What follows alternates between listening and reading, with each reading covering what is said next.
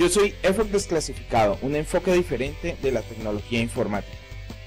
Hoy vamos a ver nuestra novena clase del curso de Linux, que es la segunda parte del Bash Script básico. Eh, ya vimos eh, las estructuras básicas de programación en Shell Script, las condicionales, los bucles, también vimos el manejo de variables y cómo pasarlas como parámetros. Esta vez vamos a hacer dos ejemplos prácticos, uno en forma de menú y el otro en forma de comando al cual se le pasan parámetros para ver la utilización de estas estructuras. No las vamos a ver todas, pero vamos a ver los ejemplos prácticos de algunas cosas que vimos la clase pasada. Entonces comenzamos. Vamos a hacer un archivo llamado menú.sh al cual le vamos a escribir el encabezado del, del shell script. En este caso, eh, pues vamos a colocar el intérprete que es la shell bash. Eh, luego vamos a declarar una variable x a la cual le vamos a asignar el valor 0 eh, otra variable y al cual le vamos a asignar valor 4 ahora vamos a escribir nuestro ciclo while. Vamos a escribirlo eh, completo. Y luego vamos a colocar la condicional que va en el, en el ciclo. Recuerden que debe ir separado los corchetes por un espacio para que no nos dé error de sintaxis. Entonces colocamos eh, que x sea menor que y. Esa es la condicional para cumplir en el while. Entonces, mientras x sea menor que y, el ciclo va a continuar. Colocamos clear para limpiar la pantalla y ahora vamos a pintar nuestro menú. Colocamos un eco primero eh, para que nos eh, muestre la primera opción colocamos que es el número de procesos que hay en nuestro sistema. Ahorita ya después vamos a ver el comando. Luego en la segunda opción vamos a colocar que nos muestre eh, el espacio en disco que tenemos. Eh, bueno, coloquemos aquí el puntico para que nos quede bien. Y eh, en la tercera opción vamos a ver los usuarios que están activos en el sistema o que están ingresados en el sistema en ese momento. En la cuarta opción vamos a colocar la carga que el sistema tiene en ese momento. Entonces terminamos aquí de colocar el eco y en la quinta opción vamos a colocar la opción de salir, o sea la opción que rompe con el ciclo eh, que estamos haciendo. Bueno, ahorita vamos a leer la variable x para poder cumplir los casos que vamos a colocar a continuación dentro del mismo ciclo while. Entonces dentro del mismo ciclo while abrimos el case y eh, colocamos que en el caso de 1 eh, coloque el comando clear, el comando clear para limpiar la pantalla, luego nos coloque ps espacio xa pipe y wc-l que nos cuenta las líneas que nos devuelve el eh, ps mostrándonos la cantidad de procesos que hay. Luego colocamos un aviso eh, entre comillas eh, que pulse cualquier tecla para seguir. Ahorita colocamos los ecos respectivos. En la segunda opción vamos a colocar lo mismo, vamos a limpiar la pantalla, vamos a colocar el comando, que sería el comando df-ph, luego vamos a copiar y pegar lo que, lo que tenemos en el, en el caso 1, que es duplicado, y eh, vamos a colocar unos punticos que se ve más bonito, pulso una tecla para continuar.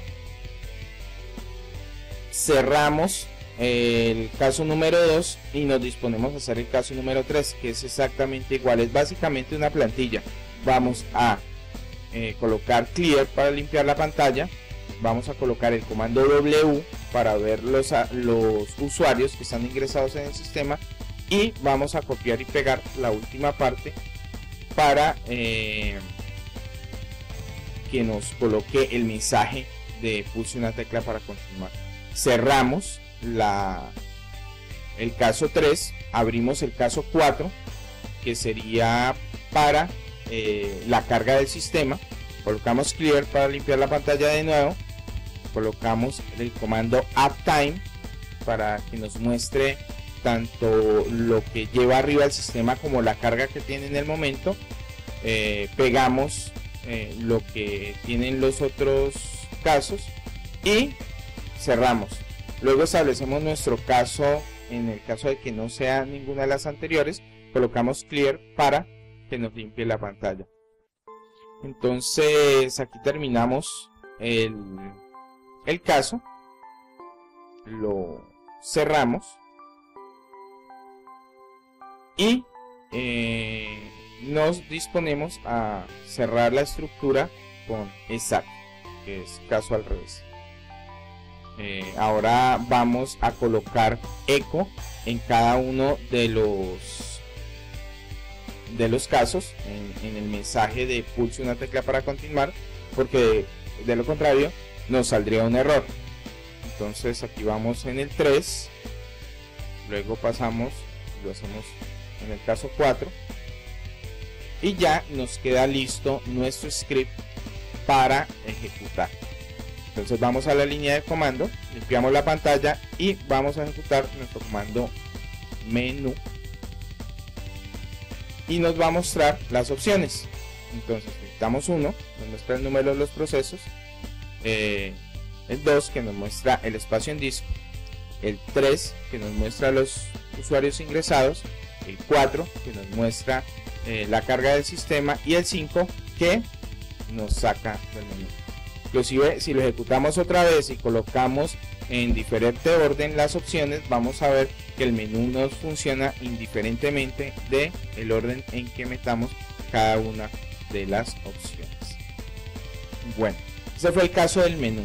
Ahorita vamos a ver el caso de el comando, del comando por parámetros. Entonces vamos a crear un archivo que se llama mostrar.sh.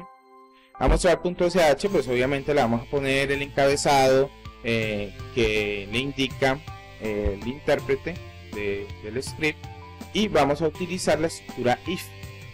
Entonces if lo vamos a armar primero, eh, punto y coma, then y cerramos con fin una vez tenemos nuestro esqueleto de la estructura, eh, vamos a colocar la condicional. Entonces, si el parámetro pesos 1 es igual a eh, el string o la cadena menos p, entonces él va a ejecutar el comando eh, psxa pipe wc -l las mismas opciones que teníamos en el caso del menú, pero ahorita lo vamos a hacer por comandos. Es decir, cada vez que nosotros le pasamos un parámetro, él con el if nos va a mostrar eh, los diferentes eh, comandos, va a ejecutar los diferentes comandos dependiendo del parámetro que le pasemos. Entonces en este caso, en el segundo caso, eh, que es el espacio en disco, vamos a colocar df-ph como en la ocasión anterior y vamos a colocar que sea igual a menos e el parámetro pesos 1 sea igual a menos e. Al igual en, el siguiente if vamos a colocar el comando w y vamos a cambiar la comparación en la condicional que sea igual a menos u. Por último en eh, el siguiente condicional vamos a colocar que sea menos C para que nos muestre la carga del sistema eh, actualmente y le vamos a colocar el comando uptime que nos muestra estos datos Luego vamos a hacer una pequeña ayuda, como la tienen los, los comandos por lo general. Vamos a colocar un menos H que nos va a imprimir la ayuda. Y vamos a hacer una pequeña ayuda. Vamos a construir una pequeña ayuda con a punta de ecos. Entonces en la primera línea le vamos a decir cómo se llama el comando y la versión eh, del comando, o sea, la versión en desarrollo del, comando. En este caso sería la 0.0.1, por decirlo así, pues es algo básicamente improvisado. Y eh, la siguiente línea le vamos a colocar un eco vacío para que nos deje una línea en blanco. A la siguiente línea le vamos a colocar un avisito de ayuda dos puntos eh, para, para que se vea en orden, se vea bonito lo que estamos haciendo. Y una vez tenemos estos mensajes, pues ahorita ya vamos a colocar los mensajes eh, de ayuda de cada uno de los parámetros del comando. Entonces a la siguiente línea vamos a colocar vamos a colocar eco entre comillas menos p para ver el número de procesos que hay en el sistema. En la siguiente línea vamos a colocar eh, comillas eh, menos e para que nos muestre el espacio que hay en disco. A la siguiente línea colocamos eco eh, menos u que es la que nos va a decir los usuarios que hay ingresados actualmente en el sistema. Y por último, eh, vamos a colocar eco, comillas, menos C, para que nos muestre la carga del sistema. Luego, vamos a colocar una adicional en la cual vamos a decirle que el menos H nos muestra esta misma ayuda de línea de comando.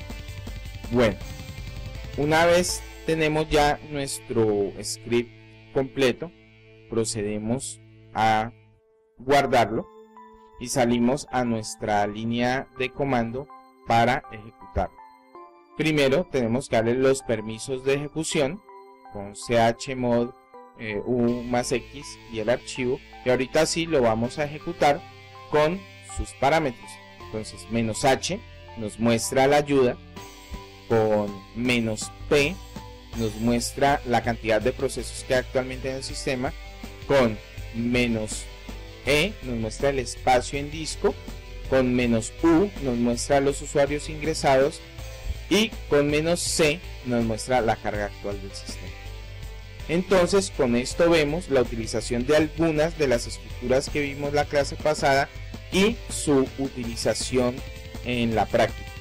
En las próximas dos clases vamos a ver funciones más avanzadas para Shell Script que van a hacer que nuestros scripts sean más potentes y vamos a ver más aplicaciones para poder sacarle jugo al sistema operativo por medio de los scripts de Shell. Entonces vamos avanzando más en nuestro curso.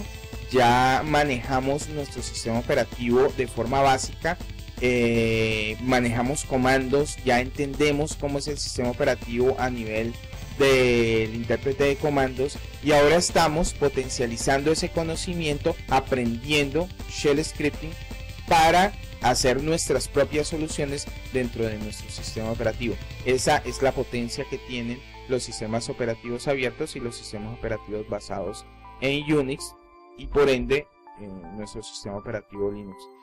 Entonces espero que esto haya sido de su agrado. Eh, no olviden dar like y suscribirse si les gustó. Y los espero la próxima clase. Yo soy EFOC Desclasificado, un enfoque diferente de la tecnología informática. Hasta la próxima.